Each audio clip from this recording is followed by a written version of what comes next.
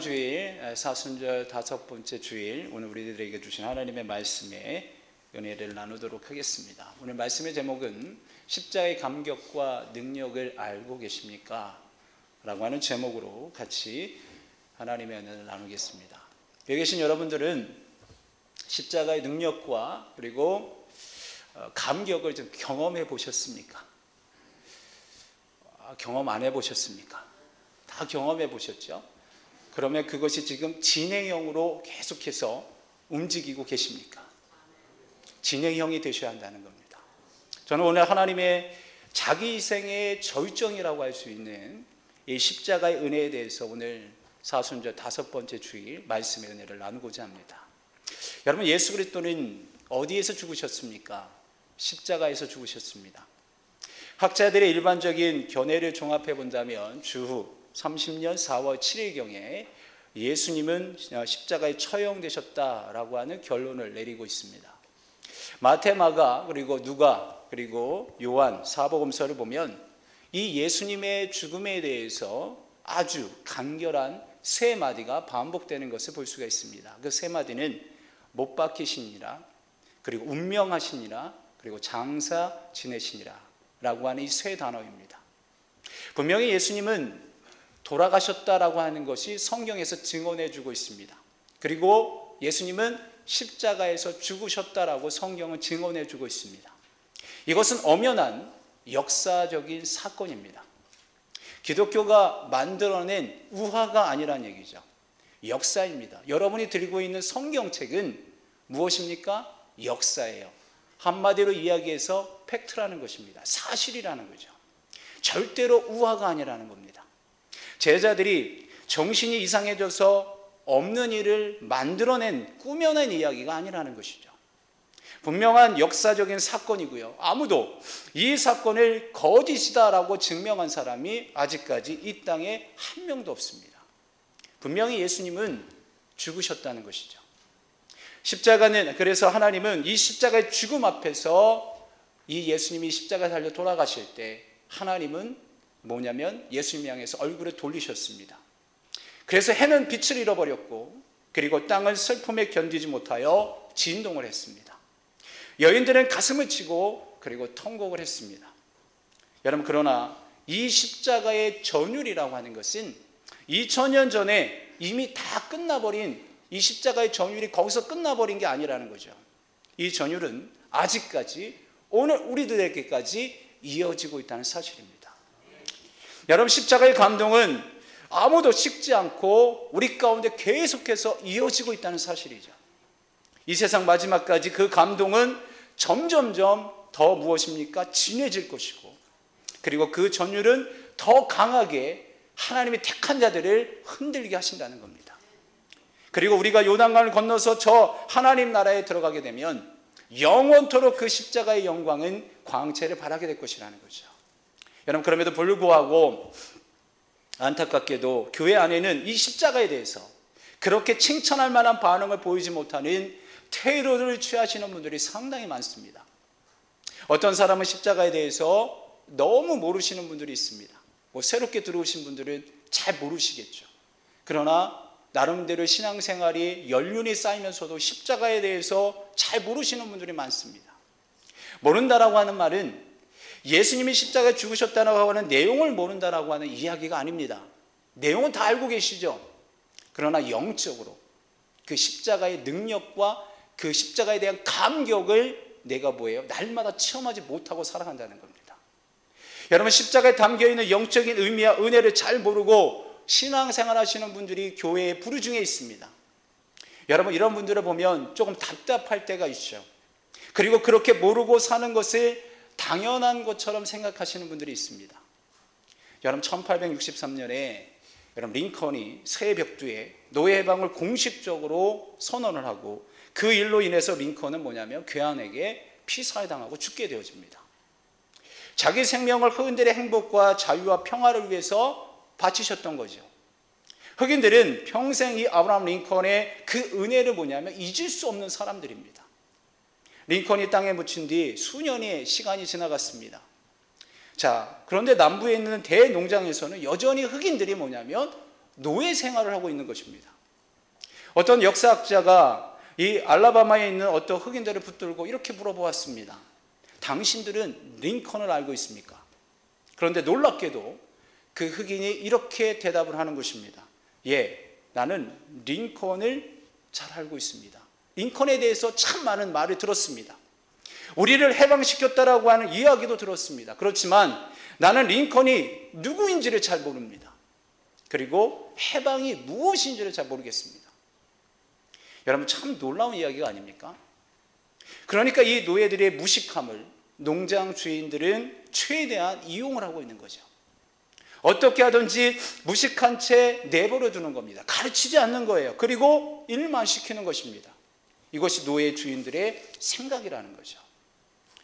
여러분, 예수님은 십자가에서 죽으셨습니다. 그 십자가 에 담겨 있는 영적인 의미를 깊이 깨닫는 영적인 지식이 우리 가운데 부족하면 여러분 조금 아까 예를 예화를 드렸던 이 흑인과 별로 다르지 않는 거죠. 마귀는 자꾸만 우리를 이렇게 유혹을 하고 있습니다. 마귀는 우리들에게 이렇게 하는 거예요. 모르는 것이 좋다. 더 깊이 알아가면 너는 정말 힘들 거야. 교회만 그냥 다니면 돼. 그 정도면 됐어. 이 정도로 여러분 사단은 우리를 유혹해서 이 십자가의 은혜, 이 십자가의 놀라운 감격을 경험하지 못하도록 한다는 겁니다. 여러분, 우리가 십자가 앞으로 더 깊이 들어가려고 하는 그 문을 자꾸만 닫아버리고 걸어버리는 존재가 사단이라는 거죠. 여러분, 이런 잠긴 문 속에 갇힌 성도들이 교회 안에 한두 명이 아니라는 거죠. 교회는 왔다 갔다 하지만 십자가의 능력이 무엇인지, 십자가의 감격이 무엇인지를 체험하지 못하는 겁니다. 이런 분들이 교회 안에 여러분 참 많다는 것이죠. 또 한 부류가 있습니다.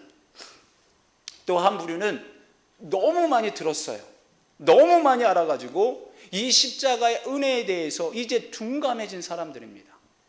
신앙생활을 오래 한 분, 특별히 모태 신앙들, 주일학교 때부터 교회 다니시면서 키가 아프도록 예수님의 십자가에 대해서 들었던 분, 우리가 매년마다 고난주간 사순절을 보내고 부활주를 보내면서 그 들었던 그 예수 그리스도, 성경도 꽤 많이 배웠고 나름대로 다 아는 것. 처음 이 놀라운 십자가 은혜를 가슴으로 느꼈을 때는 주님 앞에 너무나도 감격스러워서 부끄러운 줄 모르고 울기를 했고 또 가슴이 너무 뜨거워서 주님을 위해 사겠다라고 하는 열정을 가지고 하나님의 사명을 감당할 수도 있었고 생각할 때마다 나를 위해 죽으신 주님이 너무 고마워서 이 찬송을 부르던 때가 분명하게 나에게 있었지만 이제 흘러간 옛 노래가 다 되어버리고 지금은 그냥 덤덤해져 있는 상태. 너무 많이 들었기 때문에 이제 식상하다는 거예요. 여러분, 이건 역시 병입니다. 아무리 좋은 이야기, 그리고 아무리 감격적인 이야기라도 계속해서 듣게 되고 계속해서 반복하면 감동이라고 하는 것이 없어지게 된다는 거죠. 그런데 여러분, 예수님의 죽음에 대해서는 이와 같은 자연스러운 현상으로 우리는 용인해서는 안 된다는 겁니다. 여러분, 왜냐하면 성령님은 항상 그 십자가의 은혜라고 하는 것을 우리들에게 새롭게 느끼게 해주시는 분이 성령 하나님이시기 때문이에요. 그래서 여러분, 이 십자가의 능력이라는 것, 이 십자가의 감격이라고 하는 것은 계속해서 진행형이라는 겁니다. 오늘 우리가 새롭게 이러한 능력을 경험할 수 있는 것이고요. 새롭게 그 감격의 은혜의 자리로 충분히 들어갈 수 있다는 것이죠. 십자가의 은혜는 여러분 하나님의 비밀입니다. 하나님의 비밀은 여러분 한두 가지 알았다고 해서 그것이 다 아는 게 아니죠. 여러분 어떻게 다 알았다고 할수 있겠습니까? 이건 교만이죠. 여러분 우리는 정말 그 십자가의 하나님의 놀라운 비밀의 그 사랑이라고 하는 것은 여러분 다 알 수 없는 겁니다. 여러분 그 깊은 차원이 끝이 없습니다. 그러므로 십자가 앞에서 우리는 끝없이 끝없이 새로운 은혜를 계속해서 뭐예요? 발견해 내실 수 있어야 한다는 거예요. 이게 성도가 살아갈 수 있는 유일한 힘이라는 거죠. 여러분 하나님의 말씀을 통해서 십자가가 매일매일 새롭게 다가오시는 분들이 여러분 이 자리에 계십니까? 그 하나님의 말씀을 통해서 십자가가 매일매일 새롭게 다가오도록 역사하시는 분이 누군지 아십니까? 성령 하나님이십니다. 그러므로 너무 많이 알았기 때문에 마음이 둔감해져서 요즘에는 은혜가 안 된다라고 하는 식은 여러분 변명에 불과한 거죠. 하나님의 은혜와 성령의 역사를 비추어 본다면 그것은 우리 안에서 나타나는 아주 강력한 자연스러운 현상이라는 겁니다. 그래서 오늘 이 자리에 계신 여러분들은 그 예수 그리스도의 이름만 불러도 그 예수 그리스도의 그 십자가만 생각해도 우리에게 새로운 감동과 새로운 감격이 우리 가운데 다가온다는 것이죠. 여러분 오늘 우리는 가슴 속에 이 뜨거운 부르짖음이 여러분 가운데 나타나기를 간절히 원합니다. 저와 여러분 자신을 위해서 지금 하나님 앞에 기도하셨으면 좋겠다는 거예요. 여러분 이렇게 기도하셨으면 좋겠어요. 성령님, 저에게 좀 더 강하게, 그리고 저에게 좀 더 진하게, 그리고 저에게 좀 더 뜨겁게 나에게 임하셔서 계시의 영을 주시고, 그리고 마음의 눈을 밝히셔서 그 십자가의 그 놀라운 그 죽음을 좀 더 가까이 다가가서 내가 볼 수 있게 하시고, 그리고 깨닫게 하셔서 이 놀라운 그 십자가의 은혜를 내 마음에 담을 수 있고 그 능력의 감격으로 살아갈 수 있는 힘을 달라고 여러분들이 기도하셨으면 좋겠습니다. 이런 은혜의 자리로 인도해 달라고 기도했을 때 성령님은 여러분 가운데 분명하게 뜨거움의 은혜를 허락해 주실 겁니다. 너무나 많은 분들이 은혜를 모르고 교회를 왔다 갔다 하시는 분이 참 많아요. 교회를 오래 다닌 분은 오래 다닌 대로 영혼이 점점점 둔감해져 가고 있습니다. 식어지고 있다는 것이죠. 여러분 큰 교회라서 적당히 숨을 곳이 많기 때문에 편하게 신앙생활하려고 이 교회 저 교회를 찾는 분들은 여전히 은혜는 목말라 가슴에는 황야같이 타들어가는데도 그것이 영적인 병인 줄을 모르고 교회를 찾아다니시는 분들이 있다는 거죠. 여러분 오늘 이곳에 예배드리기에 모이신 우리 귀한 성도님들에게는 오늘 성령의 이 놀라운 역사가 이 뜨거움의 역사가 여러분들 가운데 임하셔서 다시 한번 이 십자가의 은혜가 여러분의 삶 속에 강력하게 나타나는 귀한 축복의 자리가 되기를 간절히 주님의 이름으로 축원드립니다. 여러분 십자가는 그러므로 몇 마디 안다고 해서 다 하는 게 아닙니다. 영적으로 그 은혜를 다 하려면 우리는 죽을 때까지 그 십자가 앞에서 성령의 은혜를 받아도 우리는 모자란 사람들이라는 거죠. 그러므로 여러분 십자가에 대해서 이 시간 여러분 아무것도 모른다라고 하시는 분들이 이 자리에 계십니까? 그렇다면 이 자리에 일어나셔서 허리띠를 동여매시고 그리고 등불을 들고 그 놀라운 은혜를 알아보려고 최선을 다하는 성도님들이 되시기를 바랍니다. 그리고 마음이 둔감해진 사람분들이 있습니까? 그렇다면 하나님 앞에 먼저 회개를 하셔야 합니다. 그리고 어디에다 마음이 다 빼앗기고 그래서 십자가 앞에 둔감한 삶을 내가 왜 살고 있는지를 발견해내셔야 돼요. 그리고 그것을 찾아내셔야 합니다. 여러분의 마음속에 십자가가 아닌 그 다른 것으로 가득 채워져 있는 게 무엇인지를 발견하셔야 되고 그것을 찾아내서 하나님께 회개하시고 다시 회복하셔야 한다는 것이죠. 여러분, 그럼 왜 십자가의 은혜를 우리는 회복해야 됩니까? 왜 우리는 십자가의 은혜를 회복해야 될까요? 하나님은 우리 인간을 보시고 구원을 받아야 될 존재로 뭐냐면 선언하셨습니다. 우리 인간을 향해서 하나님은 너희들은 구원을 받아야 될 존재다라고 선언하신 거예요. 다시 말하면 우리는 뭐죠? 죄인이라는 사실입니다. 의인은 없나니 하나도 없고 깨닫는 자도 없고 하나님을 찾는 자도 없다라고 하나님 말씀하십니다. 여러분 이 말씀에 의하면 그러므로 우리 모든 사람들은 뭐다? 죄인이다. 성경이 얘기하는 사람을 뭐라고 이야기하느냐? 죄인이다라고 정의를 내려주고 있는 게 성경입니다. 하나님은 거침없이 이 말씀을 선언하고 계십니다. 여러분들이 기분 나빠도 어쩔 수 없습니다. 성경은 우리들에게 우리 인간은 죄인이다라고 말하고 있어요. 그리고 그 결과가 무엇입니까? 히브리서 9장 27절 말씀해 보면은 그 결과가 무엇인지를 우리들에게 말씀해 주고 계세요. 히브리서 9장 27절에 보니까 한 번 죽은 것은 사람에게 정하신 것이요. 그 후에는 심판이 있으리니라고 말합니다. 여러분, 이 말씀에 의하면 우리 모두는 다 죽습니다. 이 자리에 죽음을 맛보지 않을 사람 없다는 거죠. 우리는 다 죽음을 맞이한다는 것입니다. 그런데 결과가 뭐냐? 그 죽음으로부터 나오는 결과가 무엇이냐? 심판이라는 것입니다. 여러분, 심판의 무서움을 알고 계십니까? 하나님의 심판의 무서움을 여러분 좀 느끼고 계십니까? 여러분, 법원에서 판사 고출을 해도 우리는 가슴이 쿵탁쿵탁 한다는 말을 들었는데, 하나님이 우리를 심판하신다면 그 심판의 정도가 어느 정도일까요? 여러분 우리는 성경에서 이야기합니다. 다 죄인이라고. 그러므로 우리는 기다리는 게 심판이라는 겁니다. 따라서 이 심판을 면하려면 방법이 있어야 된다는 거죠. 이 심판을 면하려면 우리는 구원을 받아야 한다는 사실입니다. 하나님께서 구원을 그래서 우리 가운데 허락을 하신 거죠. 다른 종교는 이와 같이 인간을 놓고 구원을 받아야 될 존재라고 노골적으로 가르치지 않습니다. 여러분, 힌두교는 어느 유명 학자가 이런 말을 했습니다. 힌두교는 인간을 죄인이라고 부르는 것을 거부합니다. 인간은 신의 자녀요. 인간은 거룩하고 성결한 존재입니다. 이런 인간을 놓고 죄인이다, 회개하라 라고 하는 것은 모독입니다. 그 자체가 죄악입니다. 여러분 이것이 바로 힌두교가 주장하는 것입니다. 여러분 이 힌두교가 주장하는 게 마음에 드십니까? 그렇다면 힌두교, 힌두교를 바꾸시면 됩니다. 성경은 여러분 그렇게 말하고 있지 않아요. 성경은 우리 모든 인간이 죄인이다라고 말하고 있어요.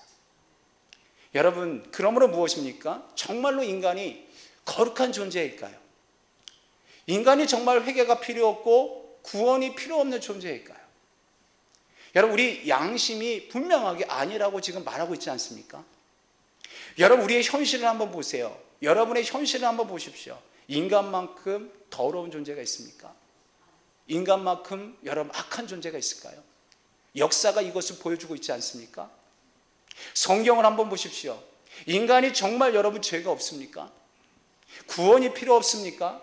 이것은 눈 감고 아웅식의 거짓말을 하고 있는 것이죠. 우리의 양심이 용납하지 않습니다. 사람은 다 엉망입니다. 여러분, 사람은 반드시 구원을 받아야 합니다. 하나님이 이렇게 우리를 향해서 그래서 구원을 받으라 라고 하는 말씀을 성령을 통해서 우리에게 해주고 계신 거예요. 그러면 우리는 이 구원을 누구를 통해서 얻게 되어집니까? 여기 계신 여러분 모두는 이걸 너무 잘 알고 계시죠. 이 구원을 하나님께서는 우리에게 독생자 예수 그리스도를 보내주심으로 인해 그 예수 그리스도를 믿게 되어짐으로 인해 우리는 구원의 반열에 이르게 된다라고 하는 하나님께서 우리들에게 복음을 허락해 주신 거예요. 이게 굿뉴스죠. 복음이라는 것입니다. 복음, 우리가 구원을 받게 되는 것은 무엇이냐? 다른 것이 아니라 예수 그리스도를 통해서 구원을 받을 수 있다라고 하는 것이에요.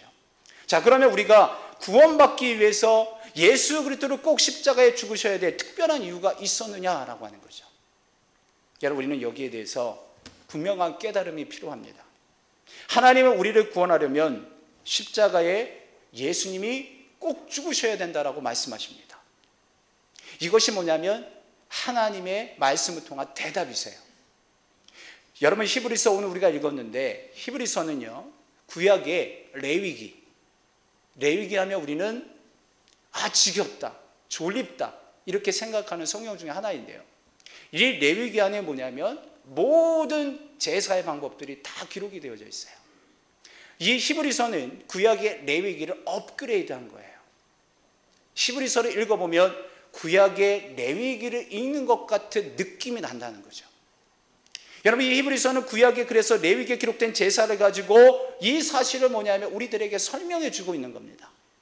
구약에 있는 모든 제사 제도는 장차 예수님이 이 땅에 오셔서 우리를 위해서 십자가에 죽으시 그 죽음을 미리 가르쳐 주고 미리 보여주신 하나의 그림자, 하나의 예표가 레위기죠. 그렇기 때문에 구약을 읽으면서 우리는 십자가를 이해하는데 상당한 많은 도움을 받게 되어집니다. 여러분 하나님께서 구약에서 제사 제도를 가르쳐 주시면서 한 가지 아주 중요한 원리를 우리 가운데 제시해 주고 계십니다. 그 원리가 무엇인가 하면 히브리서 9장 27절에 이것을 답해 주고 있는데요. 히브리서 9장 22절 말씀해 보면 22절에 이렇게 기록하고 있습니다. 율법을 따라 거의 모든 물건이 피로써 정결하게 되다니 피 흘림이 없은즉 사함이 없느니라 이렇게 기록되어져 있어요. 여러분 이 말씀은 레위기에 있는 말씀을 가져온 거예요. 여러분 이것이 뭐냐면 레위기에서 말씀하는 구약에서 말씀하는 제사의 기본 원리입니다. 자, 제사를 드리면서 분명하게 뭐냐면 짐승을 잡아야 한다는 거예요. 그리고 피를 흘리고 그리고 피를 뿌려야만 한다는 것이죠. 이게 제사였습니다. 하나님께 드려지는 제사였어요. 피가 없으면 죄의 용서가 없다라고 하는 것을 보여주고 계신 거죠. 여러분, 피는 생명의 상징입니다. 사람에게 피가 없으면 죽습니다. 피는 생명입니다. 우리가 죄인의 죄인이 됨으로 인해서 우리는 생명을 잃어버린 거죠. 그래서 우리에게 찾아온 것은 무엇입니까? 영원한 생명이 아닌 죽음이라는 거예요.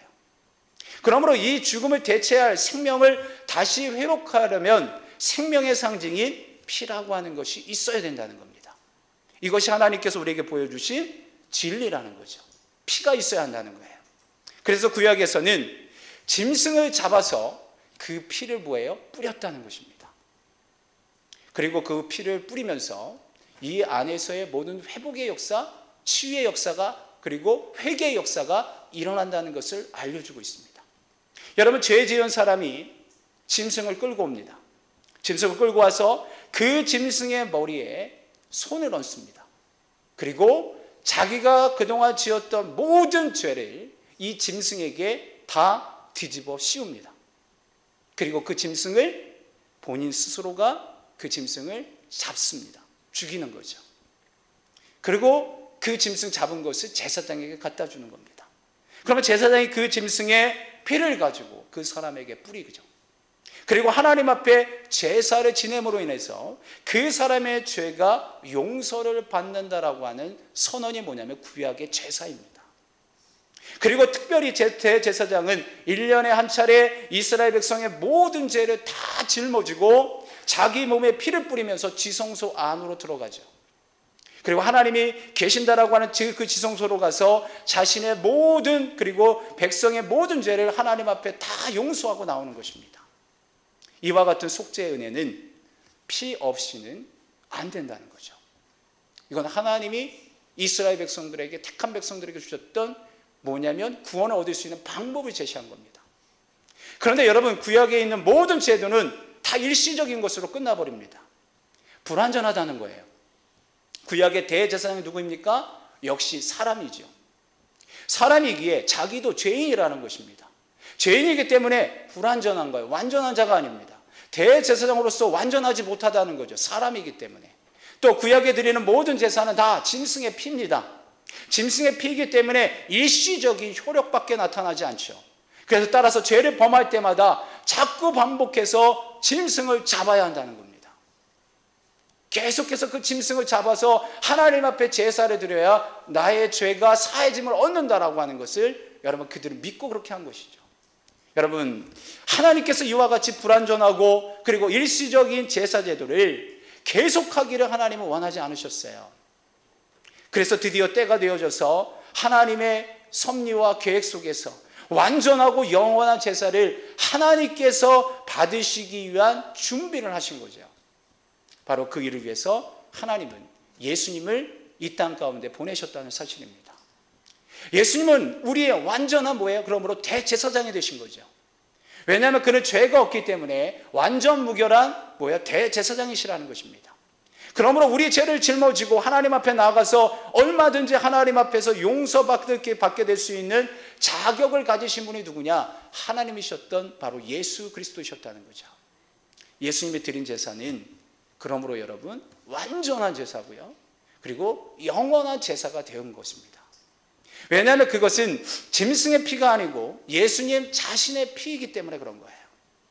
예수님 자신의 몸입니다. 그러므로 이 제사는 완전한 제사고요. 그리고 한 번 드림으로 끝나는 제사고 다시 반복할 필요가 없는 제사예요. 그래서 예수님이 십자가에서 단번에 죽으셨다라고 기록하고 있는 것입니다. 여러분 한 번 드림으로 온 세상의 모든 죄를 완전히 하나님 앞에서 용서받을 수 있게 되었다라고 하는 것이 바로 십자가의 여러분 사건이라는 것입니다. 여러분 하나님이 이 제사를 받으시기 위해서 바로 예수님을 독생자 예수님을 이 땅 가운데 보내셨다는 겁니다. 우리가 분명히 알아야 될 것은 이 십자가의 죽음이 바로 하나님 자신의 자기 희생이었다는 사실입니다. 오늘 이 사실을 여러분 꼭 명심해 두십시오. 십자가의 죽음은 하나님 자신의 희생이셨다는 것을 아셔야 합니다. 예수 그리스도는 여러분 사람이 되신 하나님이십니다. 그러므로 십자가에 죽으신 분은 사람이신 예수 그리스도만이 아니라는 거죠. 거기에 달리신 분은 하나님 자신입니다. 이 사실을 여러분들이 이해가 되십니까? 하나님 자신이에요. 다시 말하면 십자가에 달리신 그분은 인간이신 예수님만이 아니라는 거예요. 십자가에 달리신 그분은 하나님만이 아니라는 거예요. 예수님이요 그리고 하나님이시라는 겁니다. 사람이요 하나님이시라는 거죠. 완전하신 사람이요 그리고 완전하신 하나님이 십자가에 달려 돌아가셨다는 겁니다. 사람만 못 박힌 것이 아니에요. 하나님만 못 박힌 게 아닙니다. 사람이요 하나님이신 분이 그곳에 십자가에 못 박혀 돌아가셨다는 거예요. 이런 의미에서 십자가에 달리시는 분은 하나님이고 동시에 사람이시라는 거죠. 그분이 바로 예수 그리스도이십니다. 이게 여러분 십자가의 신비한 비밀이라는 거예요. 결국 하나님은 아들을 주시면서 자기 자신도 주신 거죠. 아들 대신 예수님의 인격 속에서 하나님 자신이 내리는 형벌을 스스로 담당하셨다는 거예요.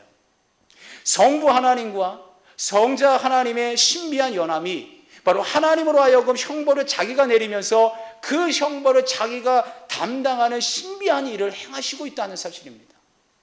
오직 하나님만이 하실 수 있는 거죠. 이것이 바로 여러분 우리가 누리고 있는 십자가의 은혜라는 겁니다. 그러므로 예수님이 왜 완벽한 대세상과 완벽하고 완전한 재물이 될 사람 이 세상에 그 어느 누구도 없다는 거예요. 그래서 성경은 오직 예수 그리스도밖에 없다라고 하는 것을 우리들에게 가르쳐 주고 있는 거죠. 그래서 여러분 우리는 다원주의가 아닙니다. 모든 종교들을 다 인정하는 다원주의가 아닙니다. 우리는 유일사상입니다. 오직 예수 그리스도만이 우리의 구원자가 되십니다라고 고백하는 것이 우리 기독교라는 거죠. 여러분, 예수님은 십자가에 돌아가셨습니다. 그것은 하나님이 나를 위해 돌아가신 것입니다. 이 사실이 우리의 가슴에 깊이 젖어 들어와야 우리는 하나님의 그 십자가의 은혜의 감격을 누릴 수 있는 거예요. 그래야만 십자가의 영적인 의미를 우리는 지금 바로 깨닫고 살아가는 성도들이 될 수 있는 겁니다. 사랑하는 성도 여러분, 이렇게 십자가는 하나님 자기 희생을 의미하는 것이기 때문에 우리에게는 뭐가 되느냐? 능력이 된다는 거예요. 우리가 여러분 수요일 날 고린도전서 강의를 통해서 배웠죠. 고린도서 2장 18절에 보면 이렇게 말씀합니다. 십자가의 도가 멸망하는 자들에게는 미련한 것이요. 구원을 받는 우리에게는 하나님의 능력이다라고 말하고 있는 거예요. 여기 계신 여러분들은 그 십자가의 은혜, 십자가의 도, 그 놀라운 예수 그리스도의 그 십자가가 우리에게는 뭐예요? 능력이 된다는 것입니다. 세상 사람들이 봤을 때는 미련하게 보여요. 그러나 우리는 능력이라는 겁니다. 왜 능력일까요? 그 십자가의 은혜를 경험하고 그 십자가의 감격을 경험하는 사람만이 누릴 수 있는 것입니다. 십자가의 도, 십자가의 죽음, 십자가의 복음은 바로 하나님의 능력입니다. 그래서 여러분, 그래서 십자가의 죽음은 우리에게 능력으로 다가오고 감격으로 다가오는 거예요. 모든 사람을 하나님 앞에 굴복시키는 능력이 있습니다. 세상을 구원할 능력이 이 십자가에 있습니다. 이 능력이 오늘도 여러분 살아 있는 거예요. 오늘 이 자리에 계신 여러분들이 이 능력을 경험하기를 주님의 이름으로 축원드립니다. 여러분 이 십자가의 능력은 그래서 우리에게 영원한 여러분 속죄를 안겨준 것이죠. 오늘 우리가 읽었던 여러분 히브리서 9장 12절 말씀을 보십시오. 이렇게 기록하고 있죠. 염소와 송아지의 피로 하지 아니하고 오직 자기의 피로 영원한 속죄를 이루사 단번에 성소에 들어가셨느니라. 이분이 여러분 예수님이시라는 거죠.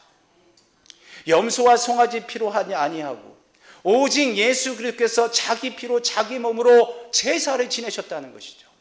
그 예수님의 십자가의 제물 때문에 여러분 어떤 일이 일어난 것인지 아십니까?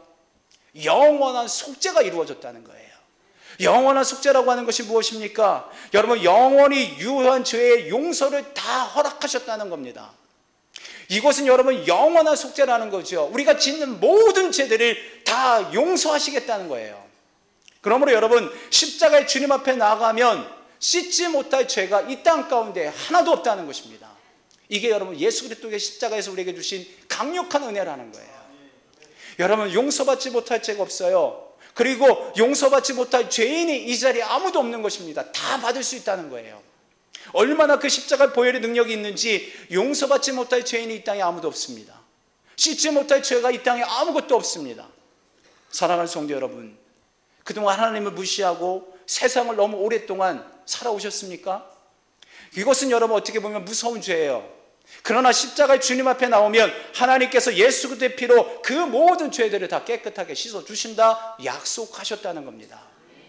여러분 우상 숭배를 경험했던 분들이 계십니까? 지금도 우상 숭배를 하고 계신 분들이 계십니까?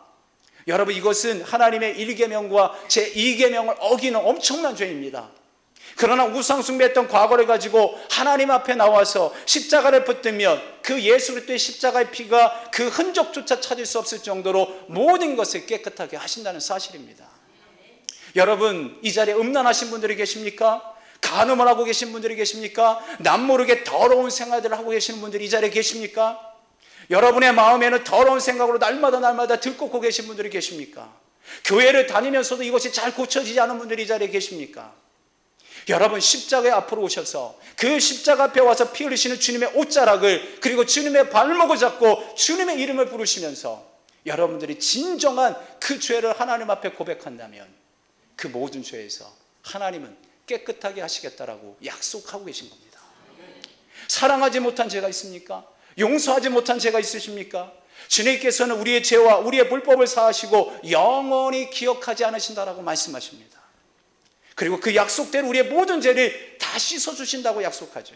이게 여러분 영원한 속죄라는 겁니다. 이 속죄를 우리에게 주신 만큼 십자가는 능력이 있다는 거예요. 그러니까 여러분들이 가지고 있는 하나님의 뜻대로 살아가지 못한, 못한 모든 것들을 하나님 앞에 내려놓을 수 있는 그래서 그 모든 것에서 깨끗함을 얻을 수 있는 은혜가 저와 여러분들에게 주어진 거예요. 그래서 이것은 죄에서의 자유함이라는 겁니다. 이 자유함을 누리는 성도들이 되시기를 바랍니다. 또 십자가의 능력은 우리로 하여금 하나님께 순종하게 하고 헌신하게 만듭니다.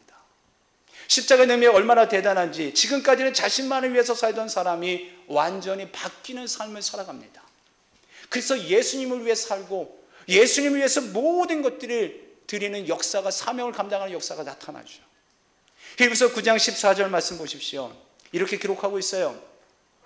하물며 영원하신 성령으로 말미암아 흠없는 자기를 하나님께 드린 그리스도의 피가 어찌 너희 양심을 죽은 행실에서 깨끗하게 하고 살아계신 하나님을 섬기게 하지 못하겠느냐라고 말하고 있어요.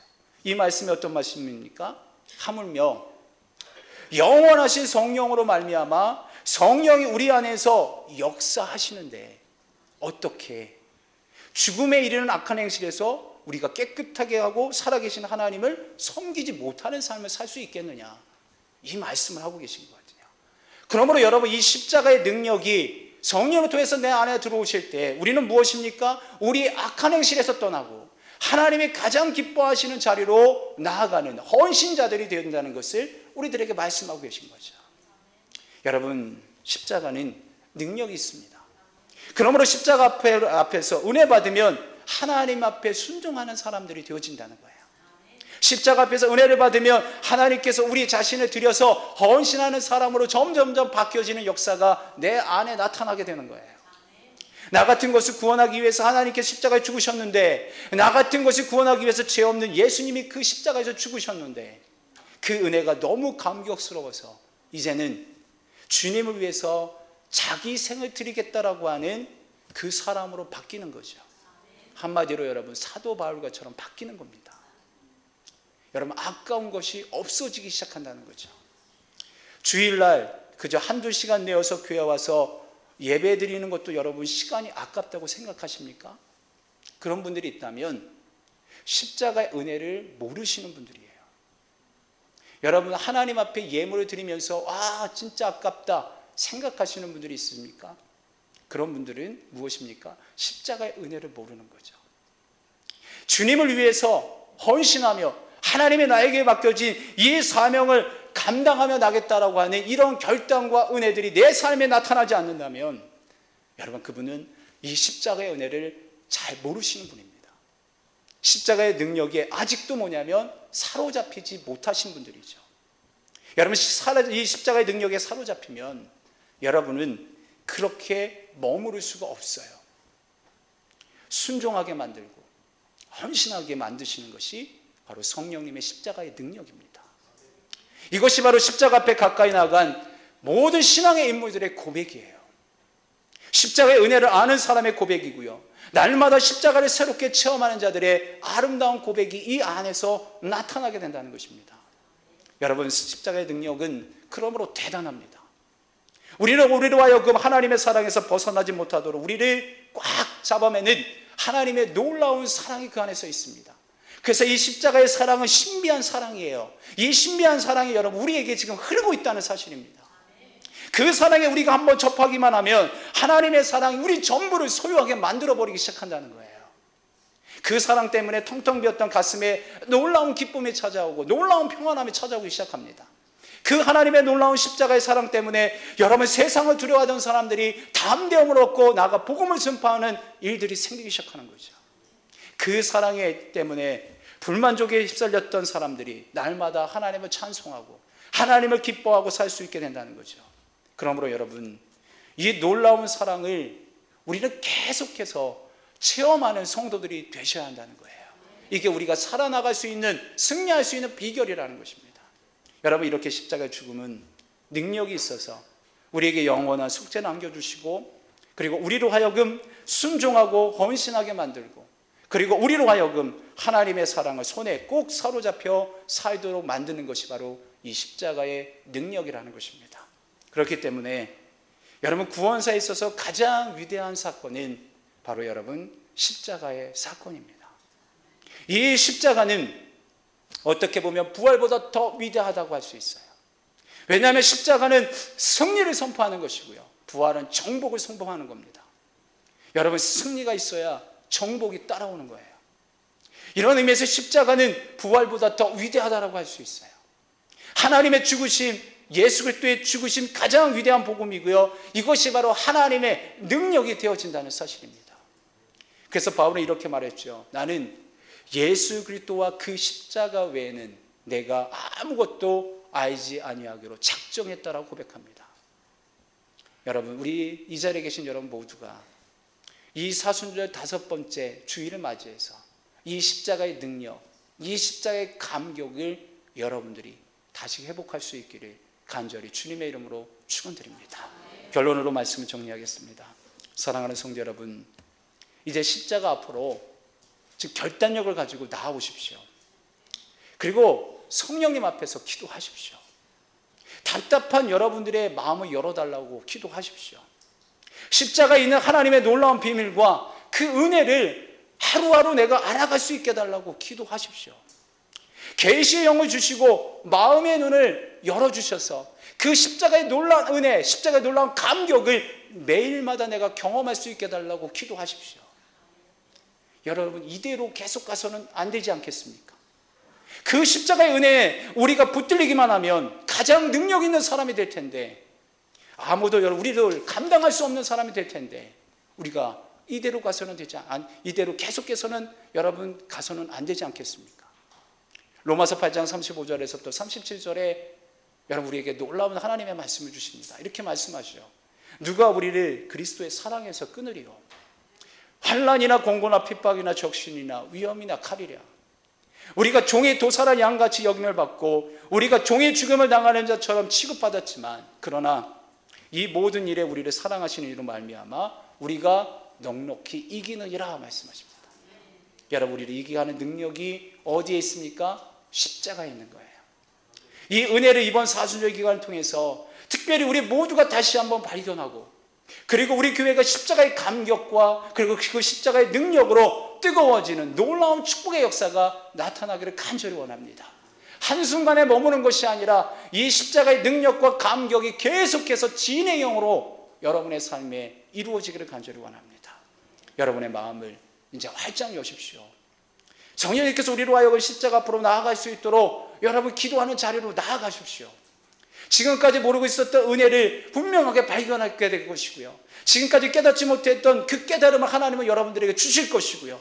아직까지 둔감했던 그 마음을 가지고도 태연스럽게 앉아있는 우리의 가슴을 찢고 십자가 앞에 나아갈 때 그 놀라운 포열의 힘으로 인해서 우리가 다시 회복되어지는 은혜가 임하게 될 것입니다.